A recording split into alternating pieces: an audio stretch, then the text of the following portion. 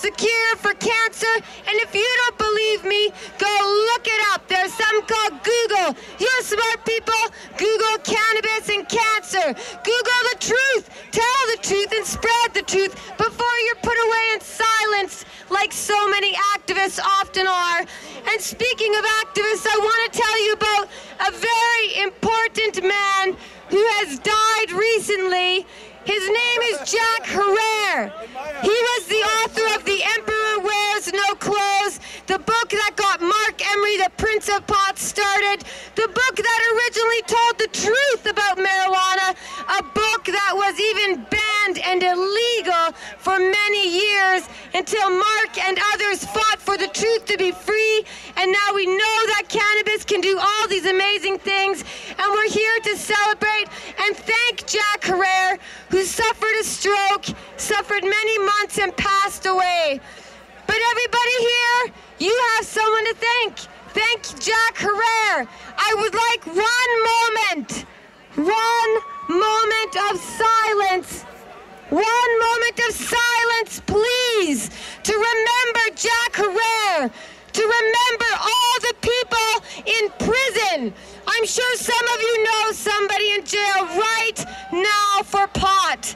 And while we're all out here celebrating and getting high, there are people who are growing your pot being sent to prison. There are people in jail cells right now being beaten up and threatened by prison guards all across America, being arrested, families destroyed, and you can be one of those people. If you don't want to go to jail, you need to take a stand, just like Marc Emery, David Malmo-Levine, and many others have taken a stand. So, Jack Herer, you're dead and gone, but your fight is not over.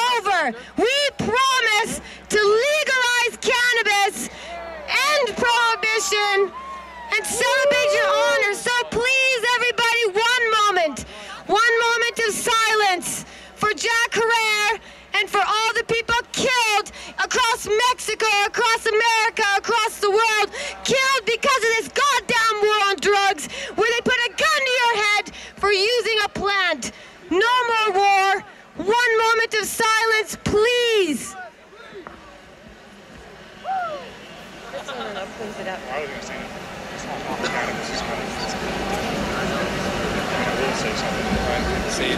know, we love you. Jack Herer, the Emperor of Hemp, the original spreader of the truth.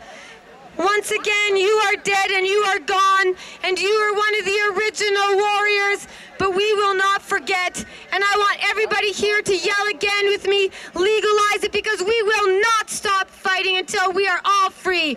One, two, three, legalize it! Once more,